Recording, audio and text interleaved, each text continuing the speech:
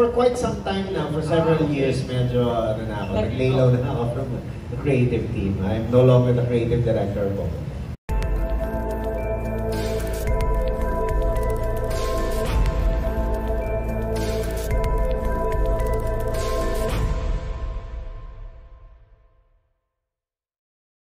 Gusto ko lang po ng clarification, sir. Ano ba yung you're no longer the creative head of Bubblegum? Oh, for for quite some time now, for several years, medyo ano na ako, naglaylaw na ako from the creative team. I'm no longer the creative director po.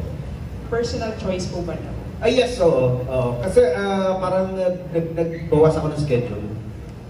I think uh, uh, shortly after akong nawala sa Itbulaga, uh, ayun, pati yung creative uh, director parang na, na job, medyo tinigil ko na. Kumusta naman yun, sir? Was it hard ba yung parang to let go of you creative control? Oh no, not necessarily. Kasi I, I've been there for uh, for a very long time. eh. So, uh, itong team, itong creative team, trusted ko na to.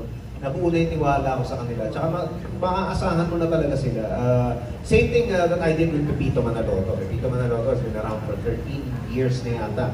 Not for 14. Uh, while I'm still uh, creative director of the show, uh, hindi na ako head writer. Because once upon a time, I was a head writer of Pepito Manaloto. Pero once you, uh, na, nag-gain ko na yung, uh, uh, nag-gain na nila yung trust ko na parang, oh, uh, they can do this job, then binigay ko na sa kanila.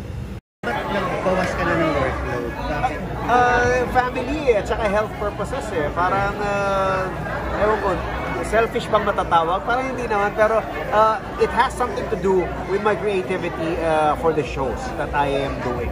So yung Bubble Gang at saka yung Pepito Manaloto, I need to focus on that. One, as a performer sa Bubble Gang, and uh, sa Pepito Manaloto as creative director, and a performer as well. And uh, hindi hindi biro itong dalawang shows na to eh, kasi uh, number one is uh, yung Bubble Gang is the longest running uh, comedy show. Uh, si Pepito Manaloto is is one of those uh, humahabol na maging runner-up. Ano? So, uh, uh, gusto kong panghawakan itong dalawang shows na to na uh, maging ano rin, maging, uh, maging household name pagdating sa, sa entertainment. Baka naman gagawa ka ng another panibagong Hindi pa muna, ayoko pa muna. Eh, kung gagawa ako, it's going to be another, a separate project, probably a movie or a, a limited series. Uh, either sa uh, sa mga streaming media platforms or kung saan pa man. Pero uh, itong like ngayon, meron akong Voltes 5, di ba nagboboses pa rin ako. Yun na nga. Ito sideline lang talaga to kasi gusto ko lang talaga maging part of the show.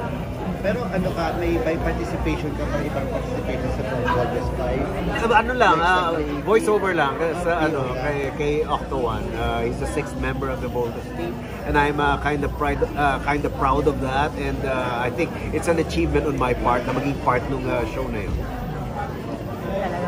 Kailan ba papanood yun? Alin to? Sorry. In Voltes 5 mo? Oh, it's still it's ongoing. And uh, pag nakita mo yung character na octopus na alaga ni Little John, ako yung nagboboses doon. hindi ba siya magiging tao eventually? Sana. Para makita ka. Sana. Ano si Chupusin?